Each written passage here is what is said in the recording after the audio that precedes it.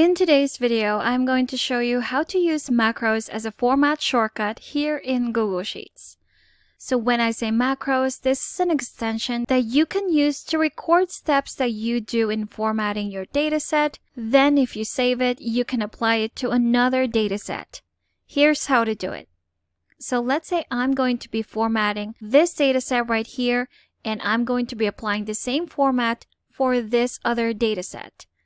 So I'm going to be using macros to record all of the steps that I will be doing in formatting this dataset right here. Once I've saved that macro, I can easily just reapply it right here without redoing all the same steps. So let's get started. I'm going to go back to this dataset right here, go to extensions in the menu bar, and here on the second row, you'll see macros. On the right side, we have record macro, import macro, and manage macros. So we're going to click on the first option right here. And now you'll see at the bottom, it's recording the new macro. Any steps that you do from this point onward will be recorded. And you'll see the two options at the bottom, use absolute references. So when applying the macro, you will be using the exact location as recorded. And in the second one, you can use relative references where the macro will be applied using active selection. So we're going to be using absolute references right here and let's get started. So the first thing that I want to do would be to freeze the first row right here. Again, freezing your rows would help you put this row in place so that when you scroll up and down, it will stay in place and you'll see that it has recorded that first step. Let's try and freeze our first column right here. And you'll see again, that's also recorded. Next one would be I want to add a column to the right of this one. So I'm going to click on this column, right click on it, and select insert one column to the right. And there we have it. Now I'm just going to insert something in here.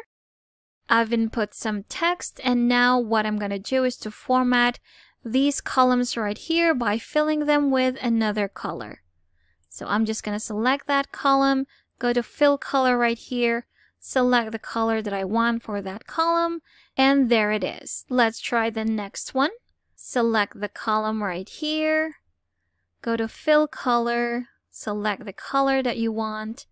There you have it. Let's try it again here. For this column right here, select another color. And for the last one, do the same thing.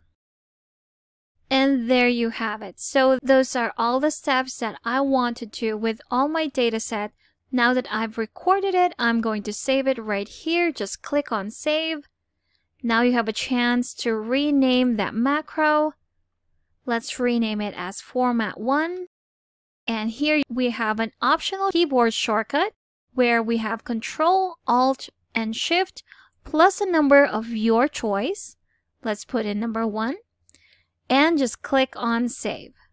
It's saving the new macro and now that it's been saved, we are going to use it to format this next dataset right here. So to apply the same format or to use the macro, all we have to do now is to go back to extensions, select macros again, and this time we're going to select the macro that we renamed format 1. If we click on it, it will run the script and now it has applied the same format, the same steps that we did to the previous dataset. Since they are two different datasets, they are not equal in size, we have only colored until this part, but we still added that same column right here, and there we have it. So if you do plan on applying the same format on two different datasets, Make sure they are of the same size, they have the same number of columns and the same number of rows, so that if you do apply the format, it will still look uniform. But if that's not your intention, let's say you're just trying to format the headers and just freezing the rows and the columns, then that will be fine. Now let's try and apply that on a blank sheet.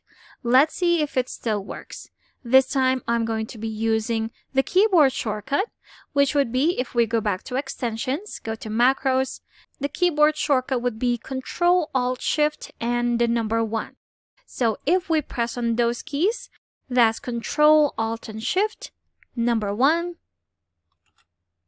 There we have it, it's running the script and it has applied the same format, the same steps that we did on our first dataset.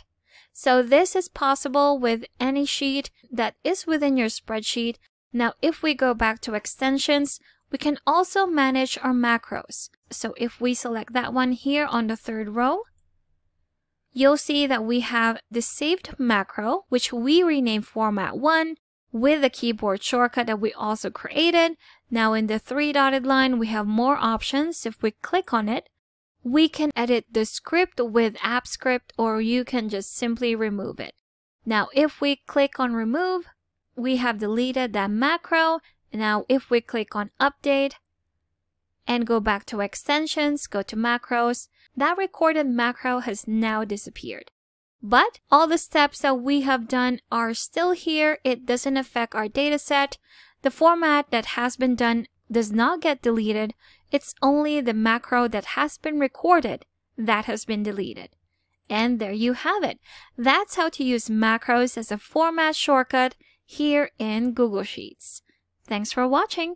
If you found this video helpful, do leave a like and subscribe for more helpful videos. See you on the next one.